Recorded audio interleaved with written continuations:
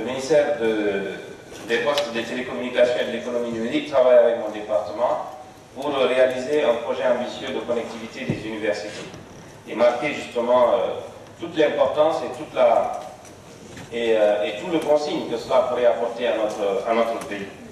Euh, juste pour, pour, que vous compreniez l'impact que, pourrait, que cela pourrait avoir dans nos universités, en ce moment, depuis que les réformes très audacieuses et très pertinentes ont été engagées dans le département d'enseignement supérieur, la problématique de la formation en master et en doctorat se pose, ce qui induit euh, un problème de qualité au niveau euh, de la recherche également euh, dans le pays.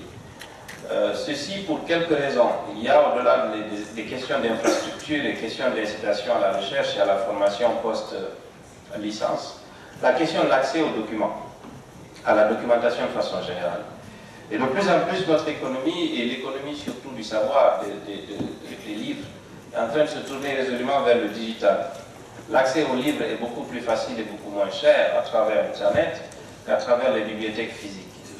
Euh, plus de 50 000 étudiants dans nos institutions d'enseignement supérieur auront besoin d'avoir accès à cette documentation pour pouvoir accéder à des formations en master qui sont construites, en fait, qui sont dessinées pour avoir une moindre présence physique à l'intérieur de l'université et une plus grande présence au sein de l'encadrement. La formation, l'accès donc des encadreurs à des formations doctorales, l'accès à la documentation aux étudiants en classe de licence, les deux combinés feront que nous allons améliorer l'offre de formation en classe de master et aussi promouvoir des écoles doctorales dans nos, institutions d'enseignement supérieur. L'accès à Internet dans nos institutions d'enseignement supérieur et de recherche pourrait améliorer également les questions fondamentales de la gouvernance de nos IES. Aujourd'hui, résolument, nous sommes tournés vers le digital. Dans le cadre de l'identification de, nos étudiants, dans le cadre du paiement dématérialisé des bourses d'entretien, et surtout dans le cadre de l'authentification euh, et de l'intégrité des données relatives aux évaluations.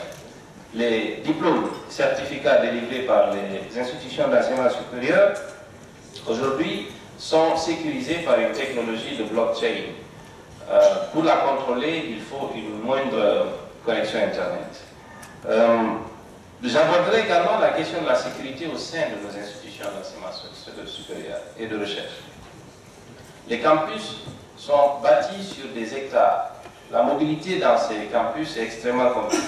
La solution viendrait d'une surveillance euh, vidéo qui est nourrie et qui est euh, mise en live par une connexion Internet.